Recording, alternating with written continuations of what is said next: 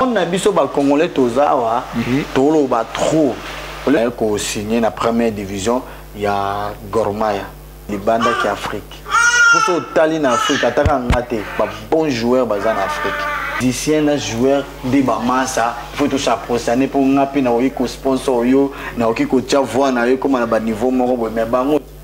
nde faut ba diminuer obi yo publie obi ke obetana na kumata na kumata na Nairobi kufa ouais.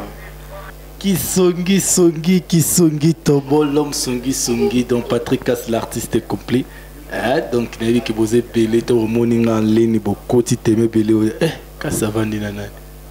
boyeba bilonga ba musicien ti boyebaka mpe ya bajoko donc songisongi ebandi na sika ebandi na elengi bomonaka ndenge eh, eh, mingi oloba eza te naloba juste après nakopresente motu na yambi mpe nakopresente biloko bayambi nga nango yango nde makambo toza juste epa jogo brondon oyo abenga na kombo ka 15 so boyoki mwana lobi bocomprendre ke toza na palais donc palestine obi mikolo songisongi kita nde na palais soki chancel mutombo atie mwa eh! Donc a déclaré libanga na bois que chancel. donc ce qui fait qu'on a bébé donc euh, à ce moment que vous comprendre donc songi songi songi tobo merci na ndenge boza ebele ya kolanda biso hein. merci na bino nde boza tellement partout na monde atie bozolanda biso basabona kaka na okapi world tv yango nde makambo Brandon Djoko, na bengo ka 15 bien papa na Chancel ou bien papa na na Jerfa. Nionso esepelisa yo. Déjà oko se présenter, déjà bato bayeba yo na yambi nani lelo osalaka nini, kombo na réellement nani? Hmm. Bon, kombo na nga Brandon Mutombo. K15, bon K15 eza kombo moko boye. ndekaka ezalaka bankombo moko deja bapesanga epa bayaya na monde kaka bamilia babala yango brandon mutombo aza joueur abeta awa na kenya abeti na baekipe ebele oyo baodecouvrir yango nde tokee na émission na biso quantième division déjà bon nabeti na nabandi awa na kenya nabandi na academy ya kenya nabeti na junior nabeti na deuxième division e nabeti na première division oyo na kenya awa babengaka première ligue ya kenya nabeti yango oh, donc to basi kenya ya kala oui déjà 5 ans déjà na kenya 5 ans déjà na kenya c'est que ça toyambi jeko munene lelo sujet na biso tokobetela leopard leopard na kane toujours na leopard so batie kaka o le meilleur perdant tozalaka kaka toujours na kati okobima ata na 6 point te tobima ata deuxième te so batie kaka mo meilleur perdant ife leopard aza na kati aza joueur 5 a déjà na kenya abeta obeta mpe bale na congo ti yeah. donc euh, aza parmi aza international abeta bale na ligue 1 ya Nairobi donc na kati donc Ligue 1 ya Kenya donc abeta Ligue 1 ya Kenya ba joueurs ya Kenya bomoni balongwaki ba joueurs ya Kenya bomoni bagagna Tanzanie babetana na bango mpe bala donc na kati ya Kenya donc tomeki kosola mpe masolo abale na mpe parcours na ye na carrière na ye évolution na yango eza ndenge nini euh, toza juste awa nayebi te eh, topesi mwa joko maloba mpo na omona koto so otali boye eh, nanga moko banga bachampagne bawiski eh, njogo oyo boye ninga mpe nabeta bale ti atala asongisongi biloko boye eboma carrière ti eh, yo yo toyebi oza oza basien oyo betabeta déjà parceke na minute oyo yo toyebi yo kaka na songisongi toyebi yo kaka na okapi donc seke yo biloko eza kaka ya yo donc yanga déjà soda déjà ça va malgré tout toza na biso na pose na saison eza te mais mwa soda esa mwa bien eh, tomela na biso mwa 20 mwa 20 mpe ekotaka nango me bawiski nde pena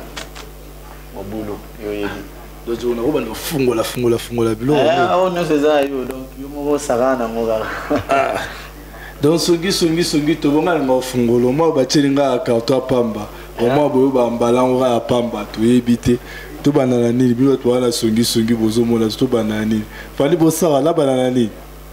eh? labala na lili fandi bosawa bos babi wana wana motema kar ya ka 15 so fo boyeba wana fami babi mama na bana donc eh. moto asimbaka 15 jogo soko omone boye e sans oublie babifola apesa mbote na wal wal wal wal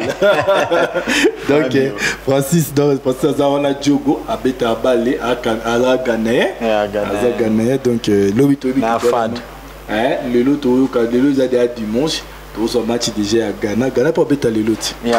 abeta lelo ya deso abeta lelo donc nameke mpe kofungola mpo tokontinue na ambiance na biso nabandi na champagne nabandaka na champagne poso esali bu emission eyokani elengi so oyambi songisongi bien te e tala kosala emission natongi na ngai po wana ya nango vinama wala boyokaafungola champagne oyebana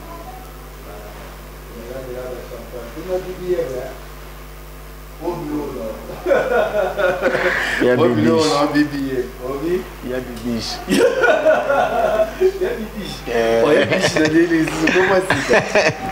Omona ya bana BBM video ya bibiche. Oh! Donc, euh, esi tomesana yango donc efungama kaka boye mabe nango nde yango wana evala mbuta ayebi makambo oyo soki ngai natya mpe soda na efungama kaka boye donc sungi sungi sungi tobo na kati na epai ya jobo kakenzi mm. oyoloba oyo ezali bakarton kamba totala zambe oyobingisanga mpenza soulard komisanga mpenza soulard sola nzambe bibi ya moza tiyeli mitoka makambo yango oyo eza mobimba donc eza te ke oh, oh, eza karton pamba ah, tokomeka ti emission esila toyeba ndenge tosilisa yango bon tokɔta na kati ya songisongisongi to bon tobanda na ojoko kobeta masolo ya léopard donc évolution ya léopard toyebi ke léopard déjà donc euh, trois matchs joués gagner kaka match moko to réussi koleka na 8e de finale pour notre meilleur perdant ce meilleur perdant ezala ete tongai mpe toleka te tiko kakenzi déjà d'abord toloba na évolution ya lopar na 3 match étant que joueur étant que obetaka bale étant que oui malgré que tozwi temps mpena opesa bino bakolasa bino batrophe na ye te bamérite na bino te bamérite na ye te mais aza azwi batrophe ebele na kenya aza joueur moko azo évolue makasi basengai ti change nationalité mais aboya ndima ko garder nationalité congolais asalela passeport congolais ti lelo tokokakanisi deja évolution ya leopard bon ngai mpa na ngai évolution ya leopard na kane oyo évolution ya leopard ezalaki nango soki otali euh, bagrand frère bamansa baoyo baza wana oyo baperforme babeta ya match ya liboso bien mais match ya liboso problème ezalaki nini ata na biso moko basupporter oyo totala match oyo kei mosusu avant match toyebaki na biso kaka non uganda tokobeta na biso uganda a uganda ekipe nini mpo ya nini mpona totala capacité ya congo na uganda ozomona na football eza na eloko moko baloba mingimingi ata bacoach bayesaka biso yango ta soki boye kobeta match bokuti bana lokola babebe na nga chancel oyo ekipe mobimba mm. bana baza lokola babebe chancel mm. bino boyaka te boloba ah, bana lokola balokola babebe chancel babebe tienfan seke tokogane bango tokosala boye te bino boya na concentration ke non tobeta mpo baa babebe me biso mpe toolakisa bango ke il faut tobeta mpo toya mikolo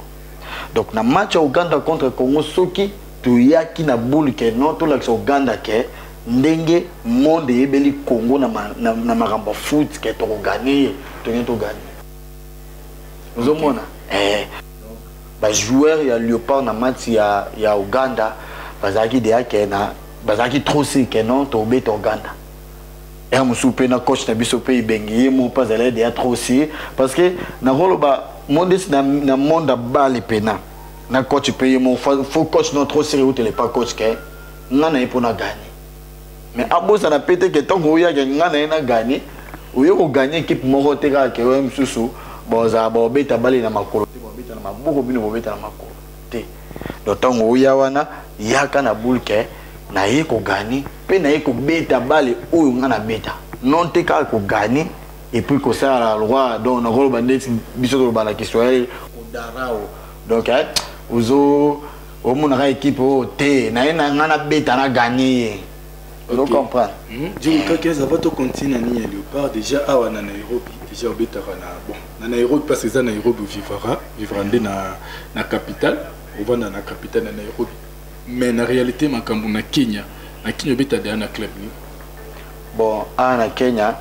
nabeti na passe déjà na baclub oyo eza minene oyo bato mpe bayebi oyo bato baolanda biso bayebi nabandaki nanu na ekipe moko ya deuxième division oyo ngai na signa premier contrat na ngai na signa golden nabeta wana eyebani mpe babeta eh, deuxième division na basofapaka championnat moko na basofapaka eyokoma naye kosigne na première division ya gormaya na signa na première division gormaya me nabeta saison te nazala parmi wana mpo saison na bango ezalaki nanu ntongo ngai na signe entre temps na signe nao négocier mpe manager na ngai négocier mpo makambo nyonso eleka très bien puisque eh, saison oyo ezoya ntango bango bakosisa saison oyo ezoya ngai nabanda bango moko déjà batravaille na bango mais entre temps nazalaki na équipe chaque voyage na bango bavoyage bakende obeta match nazalaki wana banda système kotala kaka kozala mpe mwa mayele koyeba nde nini équipe ezo évolue mwa travail mpe nazalaki wana mais yaki kosala ke ti avant saison esila e, e tosokola ye bien te ozomona tosokola ye bien te mpo na mambo ya mbongo nde na yo olongwa gormaya to nalongwi gormaya na sini na nakumat bato mpe baolanda biso bayebi nakumat vivre na nairobi ah, nakumat nde place nga nabeti mpe na saison nabeteli mpe na nakumat ti okoma mpe na mamake namoni contrat na ngai ekomokende na kosila ndenge mpe masolo mpe na barespectaki mpe na contrat te mhm. nde na yo ozonga sikoyo na minute oyo ngai naobeta na ekipe ya deuxième eh, nayaki kozonga na deuxième division na ekipe oyo nawutaki place oyo gorma ezwaki ngai ozomona place mpe ntango gorma ezwi ngai nauti na gorma naye kozonga wana nde place nakumati ye susu ezwi ngai wana nde sikoyo nazongi naza wana oza sikoyo na naku eh, naza sikoyo wana na ligue 1 eh. ok songi songi songi tobo tozalaka bofi todecouvrir moto oyambi mpo totunge na bino te ezalaka bongo te mai totonga nano ebenge na leopard mobimba mais totonga faci te mais totonga nde ebenge mpo faci ministre ya bango babalo donc totonga nde ebenge na na leopard mobimba déjà euh, deux matchs gagnés deux matchs gagnés déjà et deux matchs topoli match moko togagné déjà erreur eza nano wapi surtout na match ya uganda oyo elekela bato nyonso egypte tout le monde rdc to tozali kaka mpo mona egypte tout le monde disait que on va gagner l'ouganda tokoperdre na egypte après togagner euh, zimbabwe. zimbabwe mais qu'est ce qui s'est passé bon euh, na bamatch oyo biso toperdre vraiment match ya egypte biso moko atake ngai joueur ndenge natelelaki mpe na bamatch esengaki kaka te ke non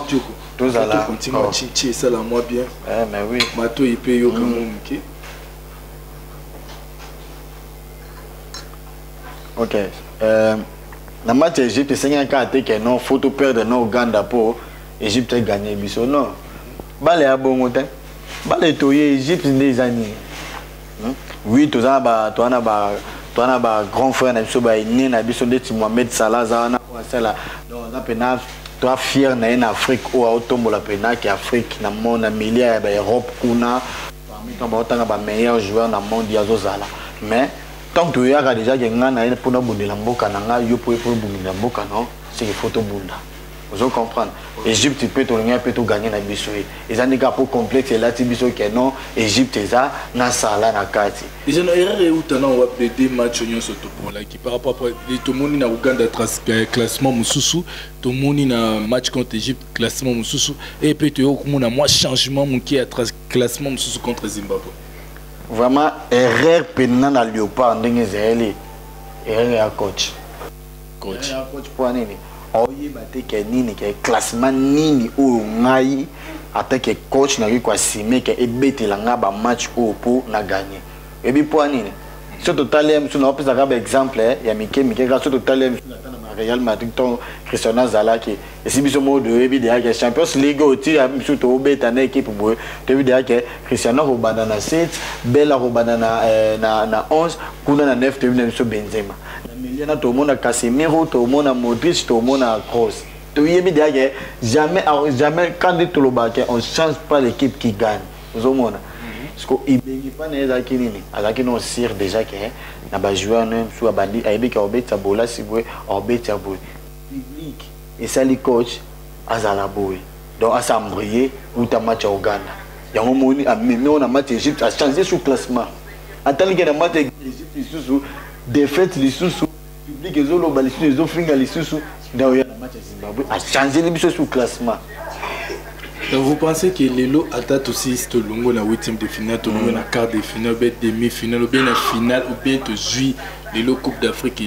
ibenge il faut a démissionner il faut atika place non non non non eza kaka te ke ibenge il faut a démissionner non coach aza bon mais sikoyo alanda mato ya bato ya libanda te donc yo pense ke nde topulai na koganda le transclassement ezali bien kogarde na juste classement na ye problèmeapesa boyebi ke tona bajoueur mosusu congolais oyo mm. tokoloba lelo mais pourquoi pas est ce que ibenge lelo azotalaka europe parce que akoli na europe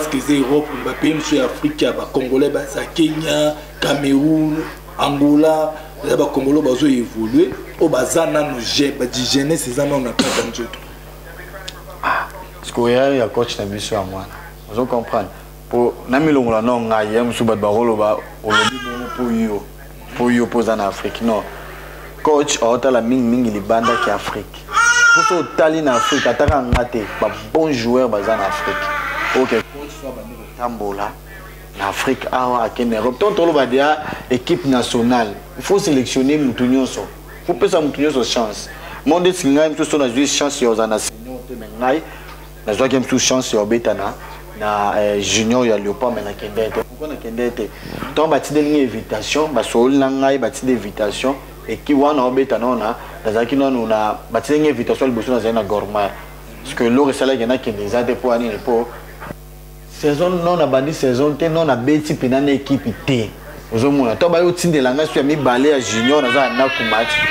ekipe eboyi mpe ngai mo mpe naboyaki mpe ekipe eboyaki mpo ya nini mpo batali a ah, ah, biso tobeta ligue 1 oza première division koma baselectionne yo na junior ozomona ekipe laki eboyaki ngai mo mpe naboyaki te kaka te eh, lokwa na eh, nasala yango lokwa te non naboyaki mpo na niveau mpe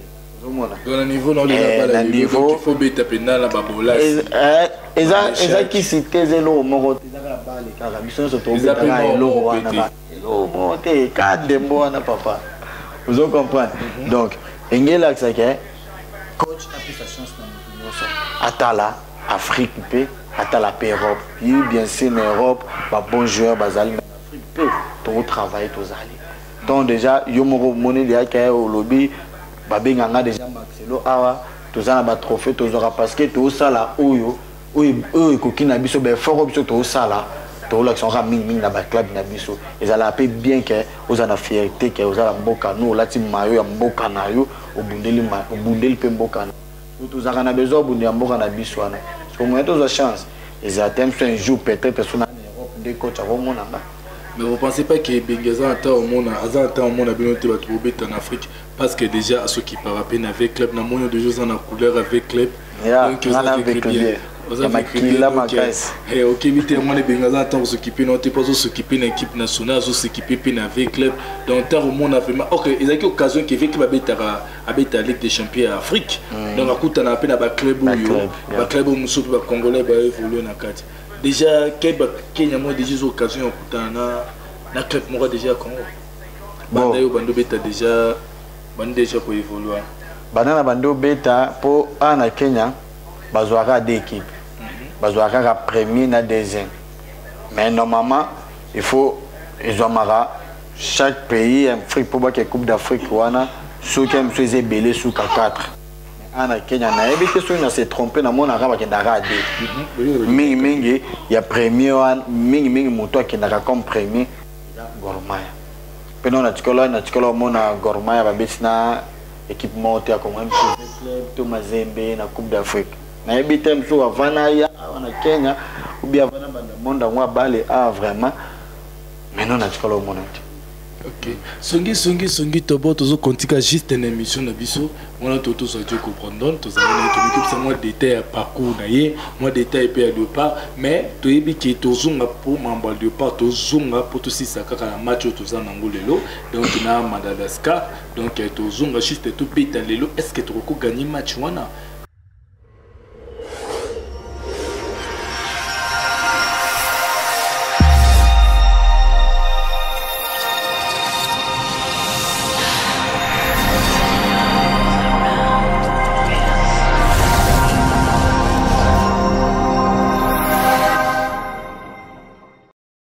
tozo kotie toujours na k15 k15 déjà match match déjà ya lyoko contre madagascar déjà ozomona ngo ndeni première fois baya na kan baganye nigeria toyebi ke nigeria aza parmi bapays favori déjà na kan oyo oui eza facile te eza vraiment facile te parce que madagascar wana ake akei na pona ya bini premier à se qualifier aza premier donc biso ateke ekipe na biso tolia lisusu te ndenge toyaki mpona makambo ya na match ya, ya uganda pardon ozomona toya lisusu bongo te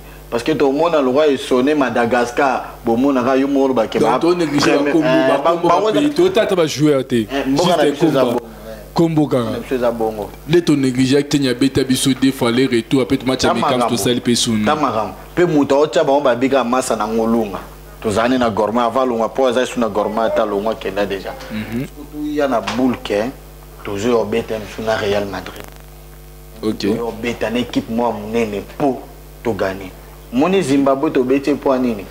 apaka nde bato baoloba oh, eza kaka te ke bato baoloba o oh, le 30 juin toni totika na mamba le 30 juin eh, oui le 30 juin esengaki afai tobeta bongo zimbabwe tobeti ye mpo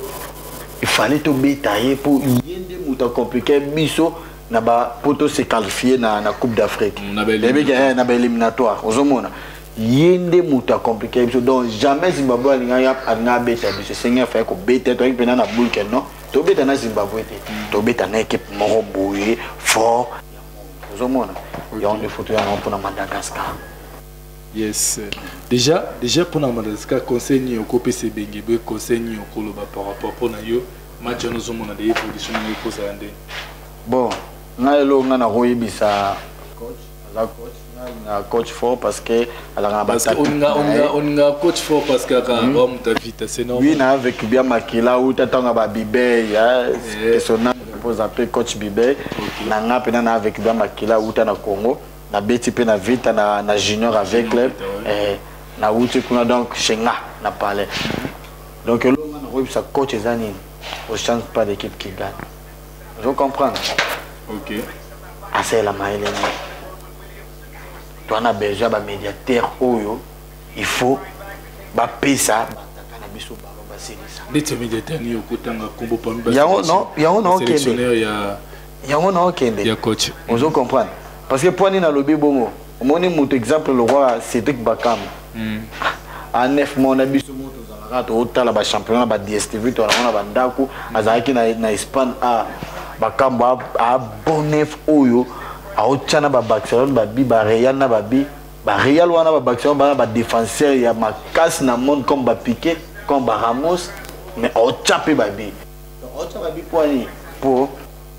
na ba médiateur ya malamu songo balingi bakanga ozokokana ete ngai nanga songiso bakanga okokana o te na kane ozwi na mwa chance otya debi moko ya pernati moko frappe no wana ata koko na biso otya na yango mpo ozokoka ata moke te okoki otya egite babi ebele ozokokana o te yo moto obebisi babalo ebele na atake defense eh. mele kosala mosala ebele mais ntango ekoma mpo bakanga bakoma bengana banga verité bakanga hmm. ozoboma ballon fort mais awa bakotoli epa joko babi mpo oza bamédiateur te te omoni bakama makambo wana besoin ya nani esi bakama boma bana na ye te mpo akende akenda chine mpo bafrappe abetaki contre egypte na chine ekotaka mpo chinois azala miso mike akomona balala te te ezaka teke omoni chine chine vraiment bale ya chine eya na se mais kuna nde mbongo ozo comprendre est ce que na ndenge azali na carrière na ebele na espagne azwikaki hmm. directement ke chine eza koboma carrière te ndenge aza te koboma carrière vraiment ata ntango bakambo ntango bakambo ake chine hmm. tozala kuna nga kuna yebisa wana yebisa wana yabi te bakambo toyoka esu bakambo te mpo ntango bakambo azalaki na baespagne toyoka mpena ye misu donc nkomba bakambo etangama bakambo abundaaopose na place abeti ah, omona lokwa a ah, kenya nde tolobaka kenya eza cimetière ya bamusicien oyebi pourquoi ata na poto mpe so ata poto te nde tolobaka te yoka yoka eza kutu likambo ya songisongi te eh. nde kaka tolobaka eza bakenya bapoto so musicien mosusu akei sango nde esili oyo toyebi ya mosusu misia monene sikoyo na eza bachine badubai baqatar banini bapays wana eza bapays zomwa donc des équipes le roi Qatar équipe nationale de yabo ozwa coach le roi Zidane bo signé na ba millions belé parce que eza pays moko boye na ba monde à balle eza cimetière ba joueurs te quand yango na oyebisa yango na okende na yo esi nde ka tolobaka ke bapoto bakende ya cimetière ba médecine nde bakata na ba chine cimetière ya biso ba jogo donc soki oke kuna ozala moto moko boye mosusu obeti déjà trop ozomona tikana tofi ah ozomona this is siko by this olobi sango eto eto nani eh. eto noko eto koko eh. eto koko kabi te soki soki na bibi yetu biko yebe eto koko aza nani ozomona donc eh, eto koko tika vi na biso oh. nzambo nzambo osunga makasi nga oh. te so moi na lobi vraiment eto koko na vie antoinette botika vi na biso biso toaba na nzambe etwale ezali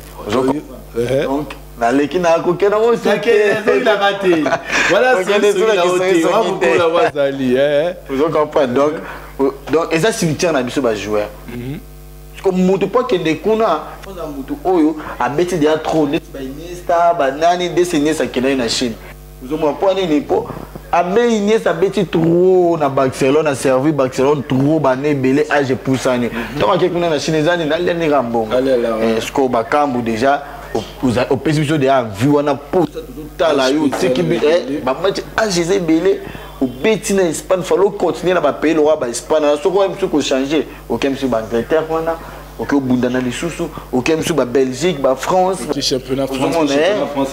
efulaka mpe kotan deya bakambo ake kuna oui bien sûr kuna ye nde moto aza biter ye nde moto azobundanabafrappe abete na match contre egypte na chine ekota non bakambo c'est bon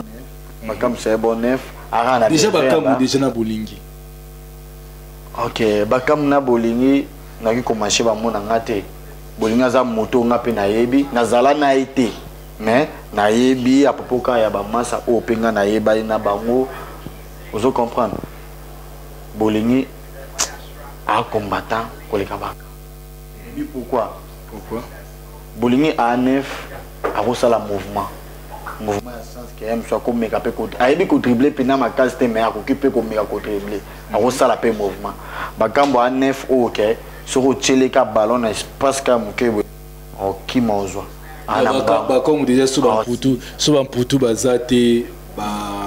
barome deja bakenda baza te donc euh, ozwi bakebano baza te donc euh, kebakango abeta bale te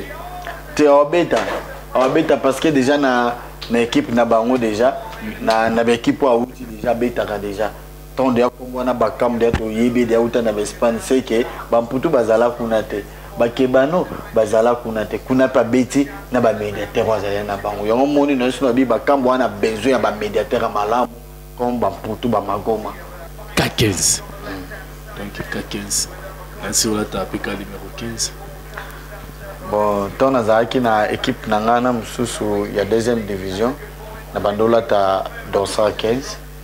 mais na nakumati mpe lokola mpe no nasinyaki eh, contrat te mpo bon ok tozalaki na contrat na bango nazwaki mpe mwa mike mike kaka mais ya grave te avant nabanda saison esengaka ifo bosigne contrat makambo nyonso donc nazwaki ntango ya représente vares te dorsala te sikoyo na nakuma 25 ya mpo déjà bazalaka deja na joueur na bango moko déjà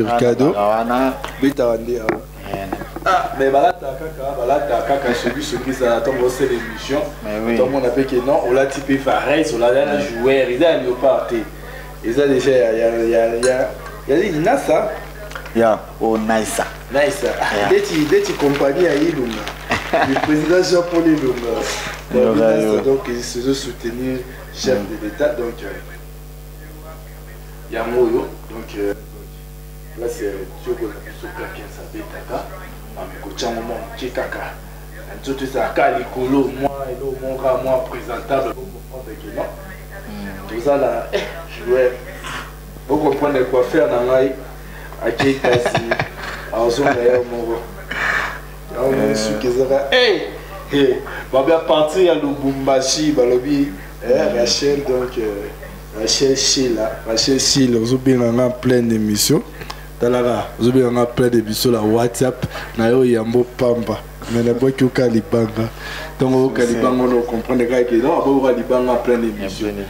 donc ka 15 déjà tokende hmm. nga na songisongi moko boye nga azalaka vana asala émission surtout so eza live te ata so eza live na publiaka mpo live epermetaka mo bato babengaka batuna baquestion mais so na ozala live te na publiaka déjà oyamba moto boyeboyeboye obi tobeta lisolo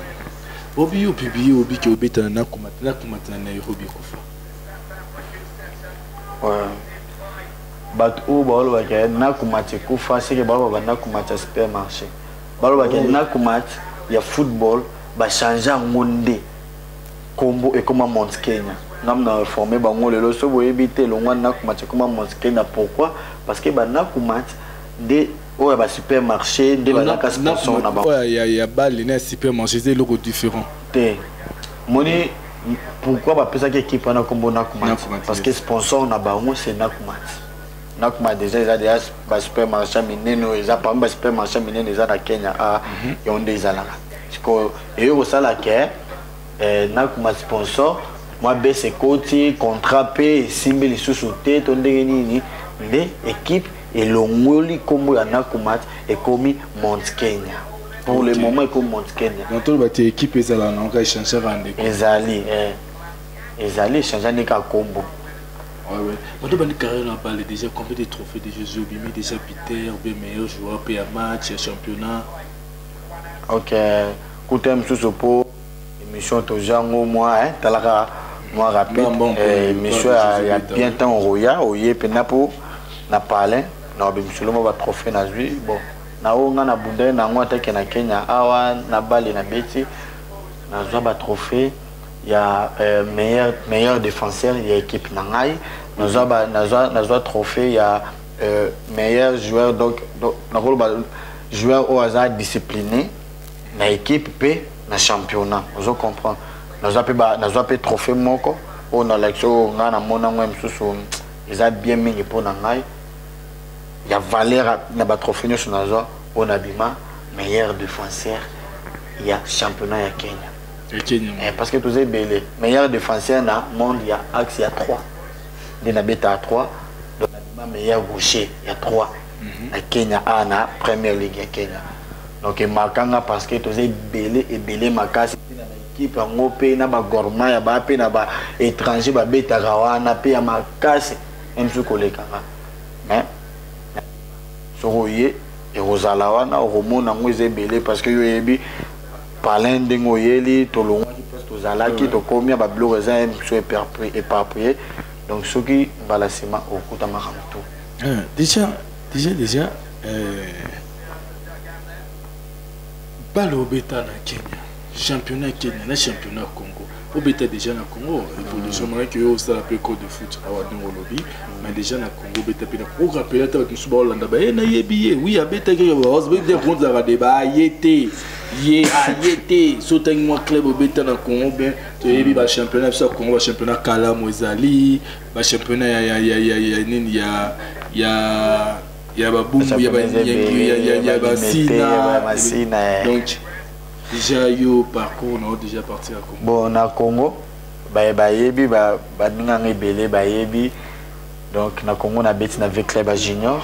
na Congo na beti na eh, ACK na Congo na lekaki na Belor mais na zwaki na beta pena mingi te parce que na Belor to na lekaki équipe oyo Mazembe oyebi Mazembe na Kalamu yo mpo lekana wana mpe eh, osala mpe mwa basystème wana sero ozalaki jogo eh, sikoyo chancel mbemba oyo naopesa mbote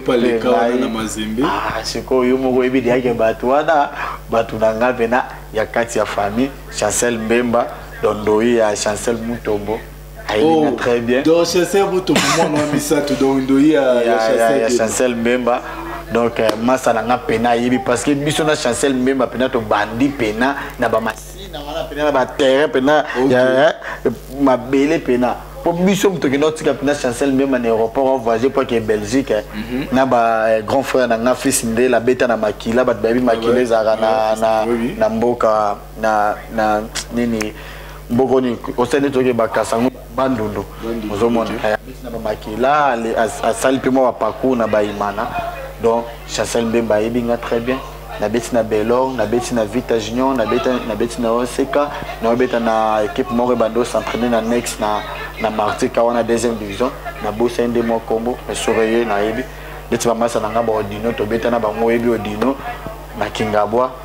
na minute cokoto donc nakopesa ba félicitation makasi mpo nauti oyoka une bonne nouvelle ke odino déjà na renaissance esali nga déjà bien parce que nga na ye so tobeta terrain wayawaya egangaka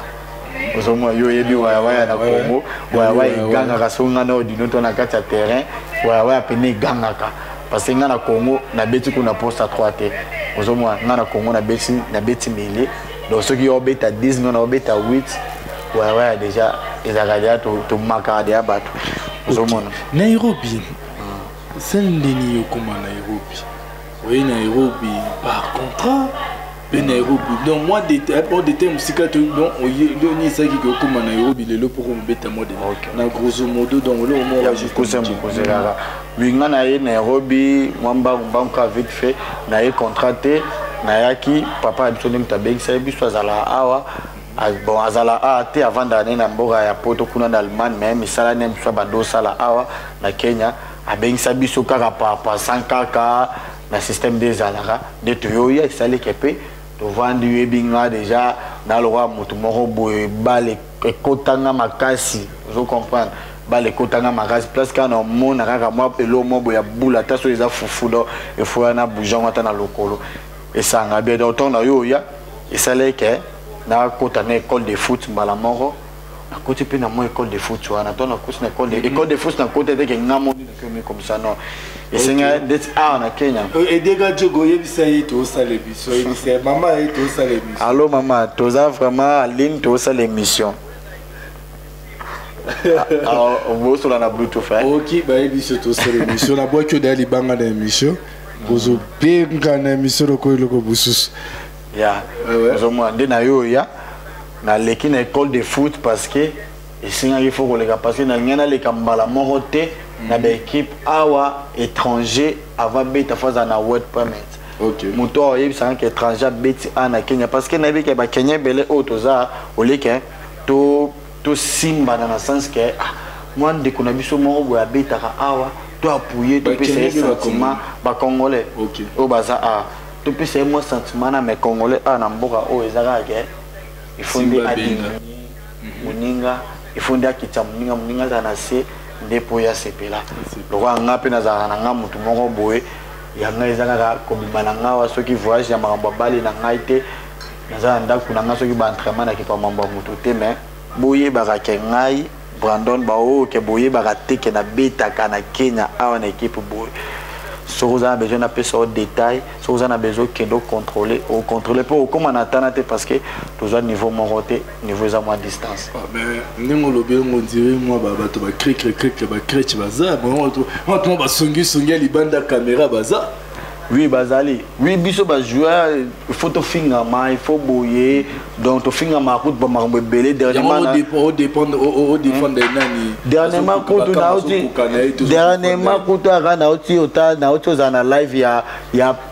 pere ngai oui bien sûr aza grand frère na ngai mais mutu na ngai mpena toyebani boye luyindama ayebi ngai très bien christian luyindama ayebi ngai très bien nauti ota live ndenge nde bapolaki aloba na live très bien ke bino bato bofingaka biso na babetise ya bamare na biso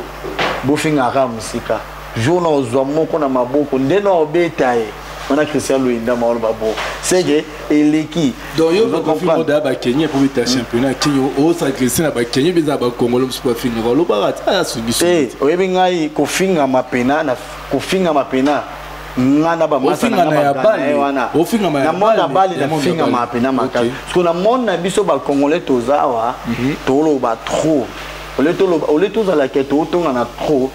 sala nanu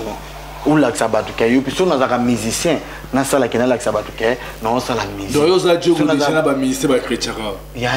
olie kutu nde ezalaka biso toyebina biso bakongo musicien na joueur nde bamasa faut tosaprosane mpo nga mpe nakoki kosponsor yo nakoki kotya voi na yo ekóma na baniveau moko boye mai bango nde fo ba diminuer yango moni alobi eloko mona ye kuna kenda wana kisongisongi te na kenda yango kaka ke na sens ke bayebaka ke eh, bayebaka kaka ke toza niveau moko te ere bango baokanga miso na bango boye balala na batongo bauti bandule na babutu de ere nga 6 heures 5 heures naa na kati ya mai ya mombasa nao travaille na ekipe na nga mpona oluka bien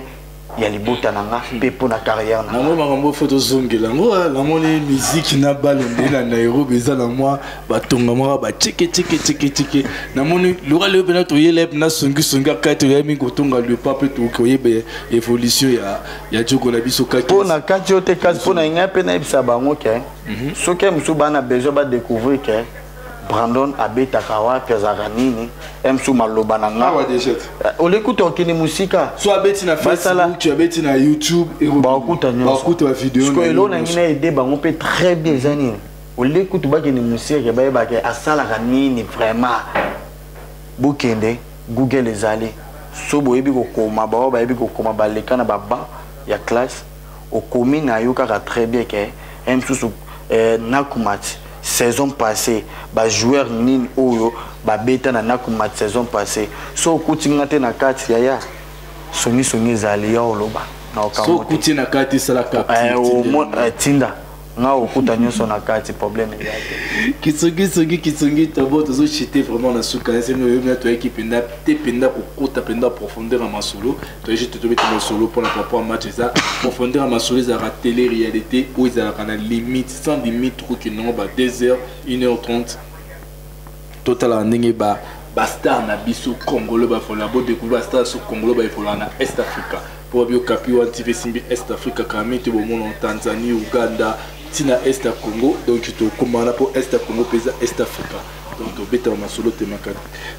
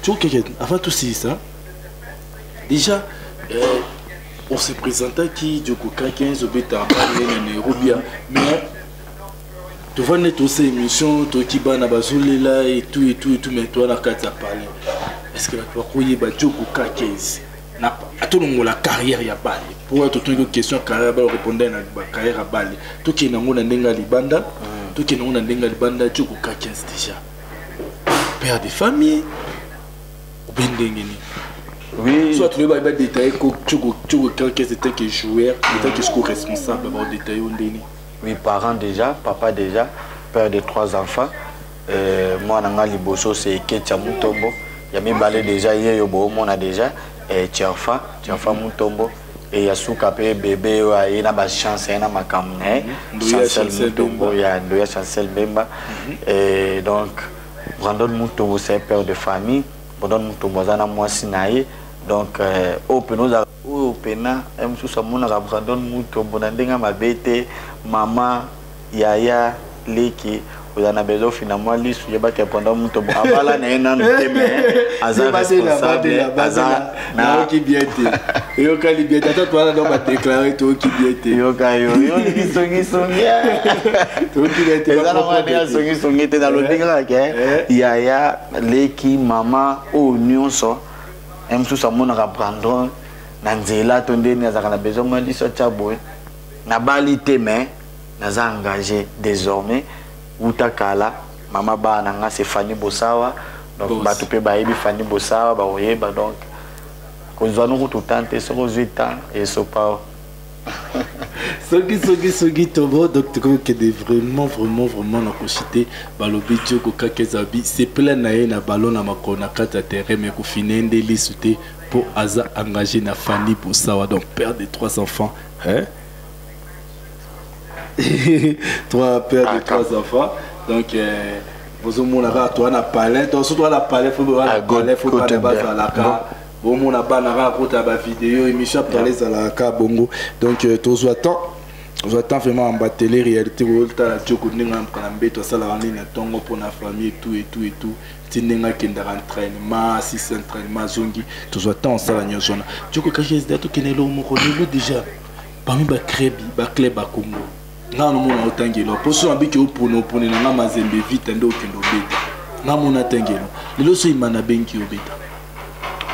de na ndenge na obeta ya a na kenya na ndenge obetela na kenya soki imana ebengaki obeta hmm. bon lobaki barespecte contrat na ngai barespecte ndenge nga mpe na olengela so barespecte na okende mais so kaka imana to bale oyo oh, kolongola mazembe nalongwe mazembe nalongola vita mpo ozwa bivita olati da paris mazembe e eh, okembango eh, kolongola sikoyo mazembe mhm. ozo comprendre sur moi moke v club ozo comprendre baoyo etikali so babengi nga kaka mpo nakendaka mso contrat kaka wi tosombi joueur naoke te eh, naoke te parce que a renaissance kuna akoma te naonyata te naonyata te na ndenge mabe te parce que renaissance eza équipe na biso fimbo donc biso baluba déjà toi deja bakonzi deja fo déjà respect mboka ya biso na poso otya moto moto chi moto chafa moto chafi nayebi ozo comprendre renaissance na okenda ndenge mabe te mais bon na monde pa bala esu esu evole deja otie deya mwa pa fo fo okende kaka kozonga mpe nsima ezala mabe yo omoni so contre esili oyo na ekipe mo ozongi na ekipe noa kala donc ntango ozonga ozonga na place moko faut bose dire mpo mata lisusu kosalaka nde effort place moko contrat eza wana ntango esila bazala na besoin barenouveler yango continue tolokaki na émission ya biso na yeba mingi so na yabi musicien mpe na yabi de quelle époque ya motu oyo basalaka mosala oyo basalaka nini oza parmi bastar oza joueur ballon ezala te to na kati ya terrain te toyebi ke tele réalité ya kabeya kala mingi te mais bajoueur bozala na mwa sens ya koréfléchir étant tant ke bajoueur oza mpe responsable donc euh, père de trois enfants nakotiki nga mpenza nazwi na nga mpenza affaire na nga 20 natiki yoka mwa quelques minutes awa omikopasse ka juste message partout yo olingi opasse message na eloko ozali nango mposa oloba olobi oyo na kati ya émission te omeka koloba yango mpo bacongolais baza na monde entier oyo balela kotonga oyo balela okapi one tv oyo bazosabone déjà donc bayoka yo mwa quelques minutes ya kane kane nde makambo nayo de diango mpo balepar na biso mokoci benge que j'aime beaucoup selaka mayele e congo mobimba tosimbana totika bajoueur na biso te topesa bango support mpo ya nini toganye madagascar et je suis sûr ke tokoganye madagascar tokosala yango bien bambote na ngai nayebi ke biso bajoko tobwaka mabanga te me mwa baremesma kaka na baoyo basunga ngai baoyo nyonso balingaka jogo baoyo nyonso bazalaka na ngai basunga ngai bazala na besoin na ngai Comme moto ya liboso nakoki kobosana te Jojo Sereng Sindano mon grand frère vie na ngai eh, donc eh, masa na ngai vie na ngai ya palais ye mpena nde mpe nalobaka jogo yo ndenge oza boye mbongo na biso toliaka yo yo nde mbongo na biso ntina poto yo nde mbongo na biso mon manager privé jojo sereng kuna eh, na remercie lisusu grand frère na ngai ya na ngai eh, jager kaninda grand frère na ngai lisusu bbm ya bibish kanena mesa obenga o lipasa ya ngai na remercie lisusu mpo na baconseil ba na yo e na yo moko mpe patrick kas eh, donc ba merci beaucoup parce que obenga olembaka to okomaka soki si otali mwa match to oye joko position eza ndenge nini merci mama rachel lengo merci beaucoup eh, ya, ya eta états-unis merci beaucoup Sandra de Capo, merci beaucoup. Dissolva de des nuances. Alela nga pe apesa nga ba conseil mpo na bale. Merci beaucoup. Et maman na ngai, maman Sophie Kamana, place aza na mboka Congo. Merci beaucoup parce que ye pa lemba na conseil te. Ayebi mwana na musala na ye. Et na sukisi bongo na ya ngai bolongani. ya ngai ya kati Fanny Bosawa donc alela alela mobali na ye makasi na monde abale donc ye nasepela ane fort mpo tokokee na terrain moko boye msu baplace ovanda eza te mai ya yo otika nga akobetela moi ti match esila merci beaucoup mama mpo na baconseil na yo bao nyonso balinga ngai merci bao nyonso balandi nga so bomoni ke nalobi mabe bolimbisa nga nazalaka na nga moto ya koloba te mai biso ba joueur biso ba musicien biso bato nyonso tv esengama ya biso donc fo kaka tolekaleka ata so tobombani na biso mais fo tolekaleka mpo topesa mwa visibilité bato bayeba biso donc merci na bato nyonso soki nalobaki mabe bolimbisi so mpe nalobi malamu bacouragement esala bien merci. Bonjour à tout le monde, c'est Elena Ladoucet depuis euh, Bruxelles. Je vous invite tous à aller vous abonner sur notre chaîne au des TV des Patrick pour aller suivre nos stars, nos influenceurs. Allez vous abonner vite sur notre chaîne au des de Patrick